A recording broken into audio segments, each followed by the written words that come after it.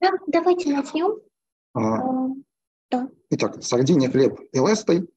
А, общеизвестно, что начиная с принципата Августа существовало два типа провинций. А, так называемые народные, не требующие военного присутствия, и императорские, и, и, или незамеренные, а, и те, которые требовали военного присутствия. Нередко случалось, что провинции меняли свой статус, переходя из одной категории в другую. Источники сообщают о трех подобных случаях в период правления Августа, и в своем докладе я остановлюсь на анализе только одного эпизода, а именно мы коснемся причин перехода провинции Сардинии и Корсика из категории народных в императорские в шестом году нашей эры. Об этом нам сообщает Кассий Дион, описывая события шестого года нашей эры. А, пишет он следующее, что в ту пору случилось множество войн, во многих краях свирепствовали лесты, а, так что Сардиния на несколько лет осталась без наместника сенатора и была вверена воинам во главе с начальником из всадников. А, термин лесты специально оставлен без перевода, потому что он означает и пирата, и бандита, и в купе с глаголом кататрафа, который тоже можно перевести как избегать сверху вниз, высаживаться, набегать с моря, разорять, опустошать, а, не совсем понятно, о ком идет речь. В разных а, переводах а, коллеги кто-то пираты переводит, кто-то, значит, бандиты. В принципе, ситуацию проясняет Страбон, современник событий. В его географии мы читаем, что часть областей постоянно опустошается горными жителями, которых зовут Диагезбы. Прежде они назывались Иолаи, а затем Страбон называет эти, собственно, племена, которые участвуют в разграблении земледельческих районов. Это параты, сосианы, балары, акониты. И он делает ремарку, что они живут в пещерах. А, хотя у них есть некоторая земля, годная для посева, они даже ее засевают небрежно, однако грабят поля земледельцев, не только тех, что живут на острове, но и поля на материке, особенно же писатов, к которым они переправляются морем. Далее он говорит о том, что э, римские наместники предпринимают некоторые э, карательные акции и описывает, каким образом э, римские наместники периодически кошмарят жителей горцев, которые, в свою очередь, нападают на, земледел... на земледельцев. Касательно данного пассажа тоже нужно сказать буквально несколько слов. Здесь упоминаются пещеры, их, конечно, можно понимать буквально, возможно, это римская интерпретация нурагов, а, которые к моменту а, появления римлян на острове, конечно, да, лежали в развалинах частично, а частично по-прежнему а, вплоть до ранней империи широко использовались местным населением. Вот, да, они, конечно, претерпели несколько конструктивные особенности, но тем не менее. Вот. А, можно сразу сказать, то, что горная местность была слабо, достаточно затронута романизацией. И дабы не быть голословным, вот несколько а, изображений того, как, собственно, выглядели эти а, нураги в, собственно, римский период, раннеимператорский. И вот еще один. Давайте пока здесь остановимся. А если мы обратимся к историографии, имеющимся в ней объяснением причин перехода Сардинии из а, категории народных в императорские, то в основном, а, все, в основном все интерпретации – это пересказ, дословный практически, мнений античных авторов, то есть либо Кассидиона, либо Страбона, либо и того, и другого вместе взятых. Плюс это все добавляется, к этому добавляются некие собственные рассуждения, как правило, основанные, э, в большинстве своем основанные, не основанные, точнее, ни на чем. А, есть несколько оригинальных предположений, но в основном большинство историков склоняются к тому, что э, склоняются к военной причине, военной необходимости, э, из-за которой на Сардинии и перешла под контроль императора. А надо сказать то, что, да, вот буквально несколько точек зрения, пусть для, для иллюстрации. А, надо сразу сказать, что а, имеющиеся в распоряжении разные типы источников, а, казалось бы, однозначно подтверждают исключительно военную причину изменения статуса территории. Так, например, допустим, эпиграфика у нас фиксирует для первой половины первого века нашей эры появление на Сардинии нескольких вспомогательных когорт. Это когорта аквитанцев, возможно, аквитата, когорта корсов и когорт, когорта лузитанов. А, эти подразделения были сосредоточены в центральной и северной частях острова, то есть как раз там, где у нас проживают в основном а, племена, атакующие земледельцев. Вот. Кроме того, эпиграфика фиксирует не только префекта э, провинции, вот, подчинявшегося напрямую императору, но и отдельное должностное лицо, которое было поставлено для того, чтобы контролировать ряд племен, доставлявших проблемы. Э, вот это, собственно, надпись, которая э, слева, э, в ней упоминается префект когорты корсов и варварских общин Сардинии. Кроме того, у нас есть археологические данные, которые тоже, на первый взгляд, подтверждают коммуни Сапинио. Недавно итальянские археологи обнаружили два военных лагеря. Вот этот и соседний, Ахтара. А, они оба датируются периодом самого начала первого века нашей эры. Вот. И, опять же, локализуются в тех областях, где как раз проживали а, беспокоящие а, земледельцев племена. А, казалось бы, все достаточно однозначно. Тем не менее, есть сомнения в правильности распространенной в историографии интерпретации причин перехода провинции в категорию императорской. Собственно, почему? Я считаю, что не только активизация разбойников, горцев а, и их участие в пиратских рейсах, э, рейдах, прошу прощения, способствовало, ну, в общем, рейсами это тоже можно назвать, а, изменению статуса провинции. А, главное, что заставляет сомневаться к рассматриваемому нами времени, то есть это рубеж веков, первого века до нашего, первого века нашей эры, часть территории острова была незамеренной, и римляне с этим считались уже не то что одно десятилетие, но, в общем-то, почти целое столетие.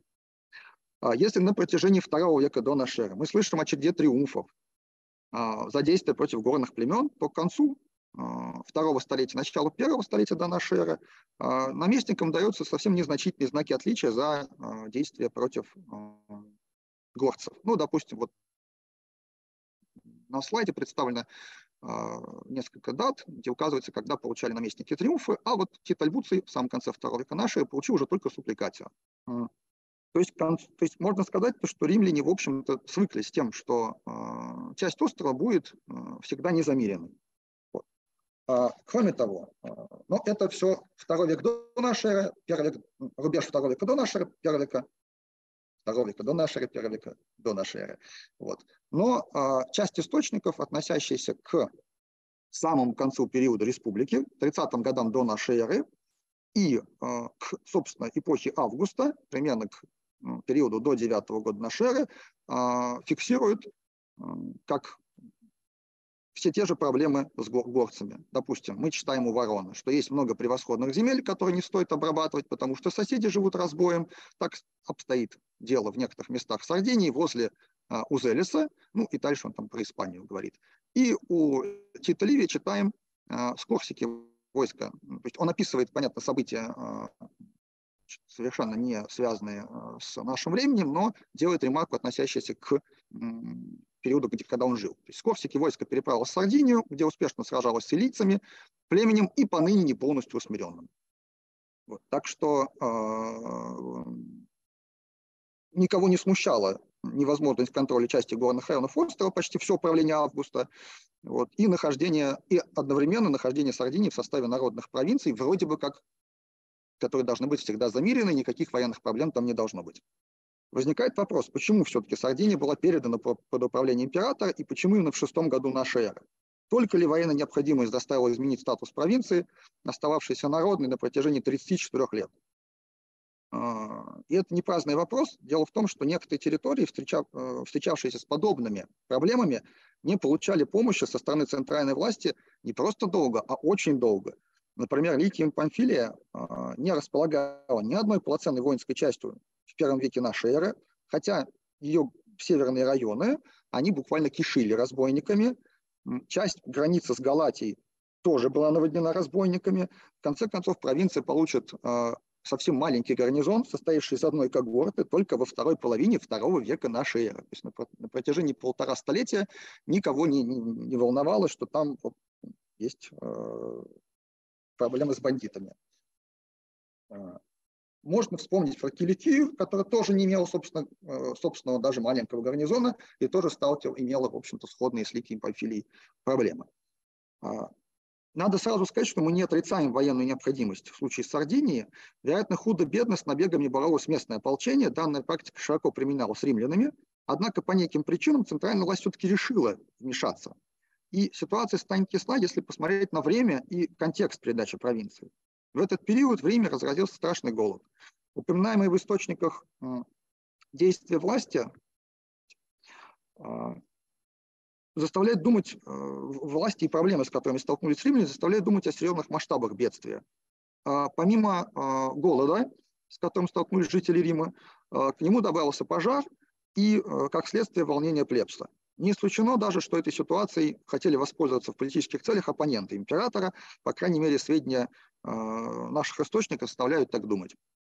А, голод был настолько сильный, что вот по сообщению э, Евсевия, да, это очень поздний источник, но тем не менее, 5 модиев продавались по цене 27,5 динариев. Помимо вот проблем с продовольствием, осложнял, осложнена была еще а, проблема, в общем, были и на внешнеполитическом фронте. В шестом году на шее разразилось в Далмации восстание. Да, хронологию соотношения голода и начала панонского мятежа мы установить не можем, но масштаб предпринятых Августом мер говорит в пользу продолжительности этого самого э, голода. И в этих условиях большое значение принимало своевременное получение зерна столицей. Сардиния по-прежнему была одним из основных источников зерна, пусть и не львиной доли, но в сложившихся условиях важно было, что она находится совсем рядом. А, расстояние от а, значит, Сардинии до Италии по Ворону это всего 120 миль, по имеющимся у нас данным это, в общем-то, там один день плавания всего лишь. В то время как, допустим, из житницы Рима, из житницы Рима, а, Египта, срок плавания составлял только до одной Сицилии, простите, 7 дней. Вот. А, таким образом, а, контроль над Сардинией в условиях а, кризиса представлялся чрезвычайно важным. А Август прекрасно знал, чем грозит несвоевременное поступление продовольствия в столицу. События последней гражданской войны первого века до нашей эры, когда силы Секста Помпеи захватили остров в 40 году до нашей эры и устроили блокаду с подвозом продовольствия в Рим, что поставило Октавиана в очень чрезвычайно сложное положение, явно не были им забыты. А предложенная, предложенная интерпретация совсем не противоречит имеющимся у нас и эпиграфическим, и археологическим данным. А постановка под контроль префекта, подчиненного напрямую Августу, хорошо согласуется с созданием в Риме комиссии, а, занимавшейся распределением зерна. Вот. И таким образом, да, прежде чем закончить доклад, хотелось прокомментировать несколько оригинальных версий, о которых говорилось выше. Так, чешский исследователь Пикари пишет, что на Сардинию почему-то напали разбойники, а, даже дает датировку, а, но эта версия вообще никак не подтверждается источниками.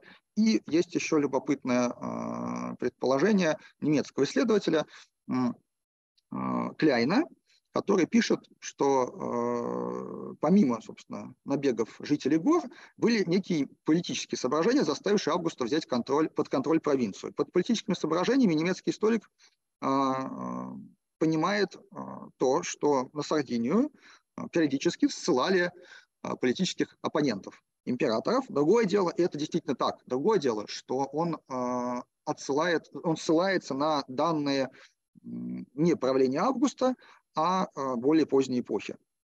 Вот. А, что касается Августа, у нас, в общем-то, нет данных, что Август туда кого-то ссылал, да и представить себе, чтобы ссыльные подняли мятеж, объединившись с местными горными племенами, вряд ли возможно.